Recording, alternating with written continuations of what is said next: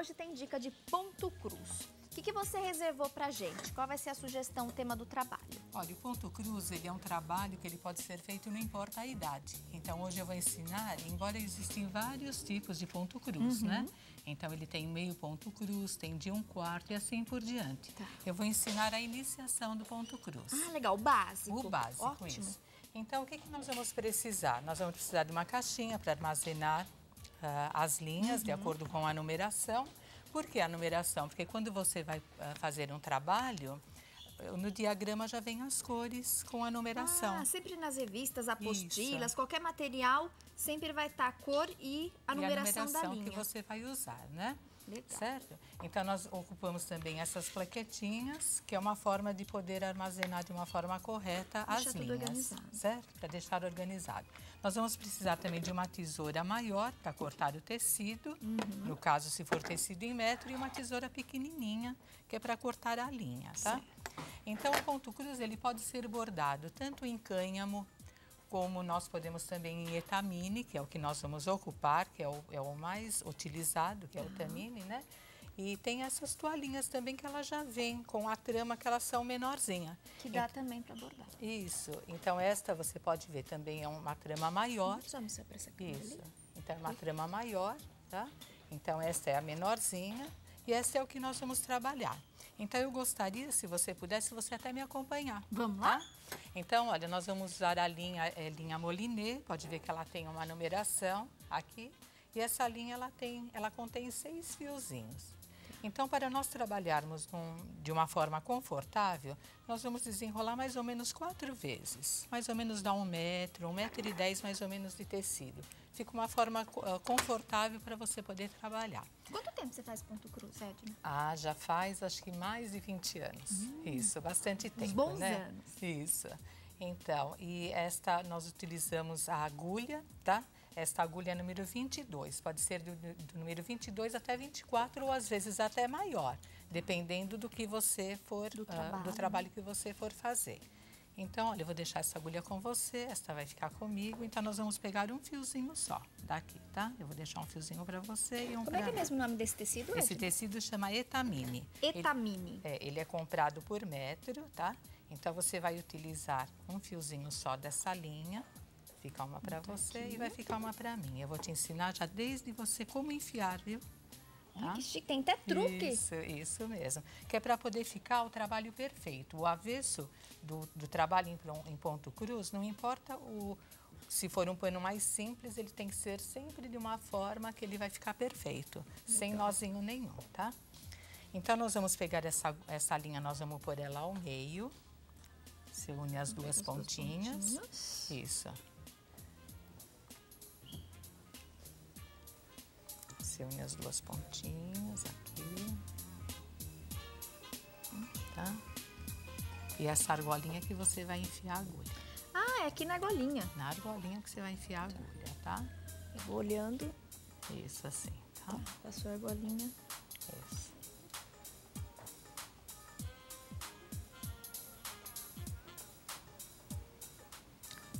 Isso. Aí você puxa essa argolinha até, até embaixo, tá? E nós vamos iniciar o ponto cruz.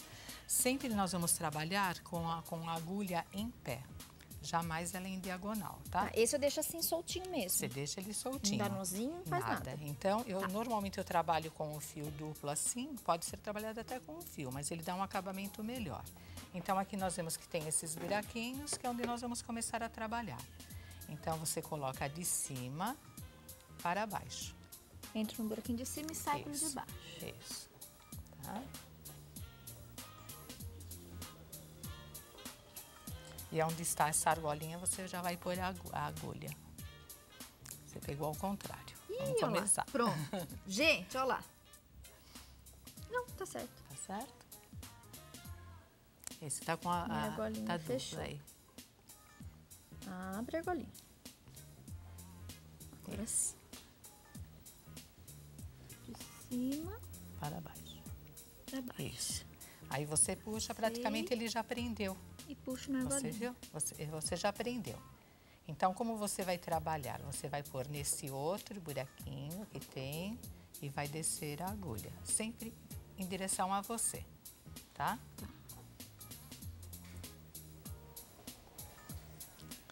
Gente, É um trabalho, depois João que você Marrafon tá acompanhando agora a dica, depois do recadinho pro sócio. Olha, põe ele gente, para que delícia. baixo, põe essa, essa linha aqui para Ah, baixo. tem que passar. Isso. E Ah, agora um sim, isso. Então nós vamos continuar sempre de cima para baixo. Aqui eu não passo, né, Não, agora não. Edna? Agora não. Ficou uma argolinha. Opa, aqui. Ficou uma argolinha. Ficou a argolinha, isso. só puxo. Só puxa. Aí ele continua, tá? Isso. Porque praticamente ele já deu, ele já deu, já prendeu o tecido, você entendeu? E agora eu só vou indo, então, Sempre cima pra baixo, de puxando. cima para baixo e puxando. Nós podemos fazer mais ou menos uns 10 ou 15 pontos para você ver como que vai ficar o trabalho, tá? Essa é a iniciação do ponto cruz. É um trabalho que até criança pode fazer. Viu? As minhas netas, elas acabam Ih, fazendo esse trabalhinho o meu, tá, também. o meu tá diferente do seu aqui, Tá Edna. Ó, Olha aqui, minha amiga, eu, eu acho que eu fiz alguma Alguma coisa. coisa errada. Porque, olha lá, gente, peguem o da Edna de pertinho. Isso. E Eu aqui acho que nós- foi a posição. Isso, e nós vemos que aqui atrás, olha, já começa a ficar o avesso perfeito. Ah, não, Tá? até que meu avesso, olha lá. Isso. Você deve ter enroscado só um pouquinho aí. Olha lá, o avesso até que ficou. Você deve ter passado, você passou por cima a linha aqui. Passa lá. Daqui, vamos, Hum. Vamos ver se dá dela. consertar. É lógico que dá, sempre dá. Ah, vou. Tá? Ah, Ó, aqui, você ó. tem que segurar aqui, tá? Só você pega virar bem isso. aqui pertinho. Isso, Você segura a linha. A linha ali por trás. nesse buraquinho e nesse outro. E aí você continua, tá? De Aqui cima pra e baixo. aqui. Vê se você consegue agora. Agora Vamos vai. lá. Essa aluna tem que conseguir, né? Ci- ah, Isso. agora sim. De cima para baixo. Então, esse é o mais simples do ponto cruz. Esse, praticamente, que nós estamos fazendo, ele chama meio ponto cruz, tá? É a metade. Que pode também ser feito algum trabalho assim, com meio ponto cruz.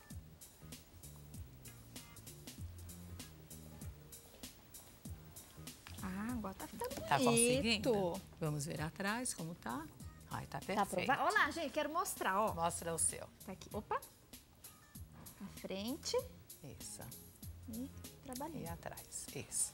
Então, A Guga lá em casa também deve estar orando, hein, Guga? Ó, mais uma dica. Vamos continuar trabalho. É um trabalho bem gostoso Uma e, ao mesmo tempo, ele se torna uma terapia ocupacional. Porque quando você vai fazer o ponto cruz, você deve, eh, você vai seguir o diagrama, como foi mostrado.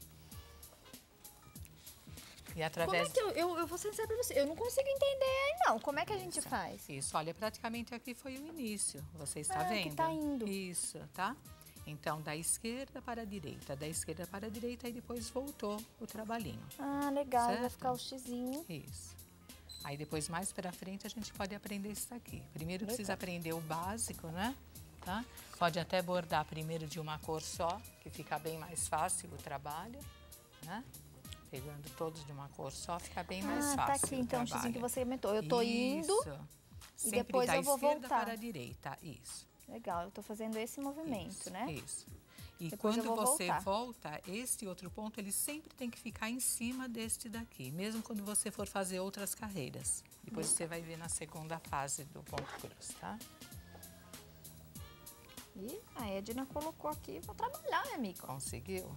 Então você vai ganhar um dinheirinho com isso, viu? Ou pode presentear, nós podemos dar de presente para as amigas, para os parentes. É um trabalho que ele não sai caro, o material em si, porque uma linha, esta linha, como eu mostrei, toda ela tem uma numeração, né?